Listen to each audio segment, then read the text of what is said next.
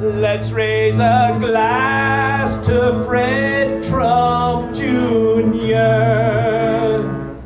the best branch on the family tree. He had the shame and sense to drink himself to death at the age of 43.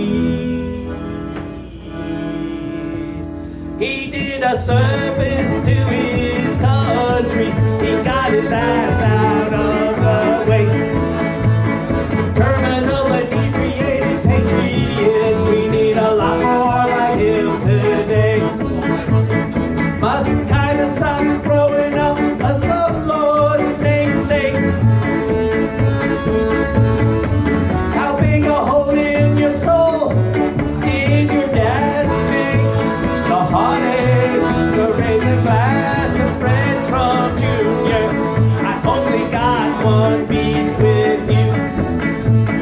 Apparently you told your little brother he should never do. Let him make his own opinion, just like everyone in this place. Might be just another drunk.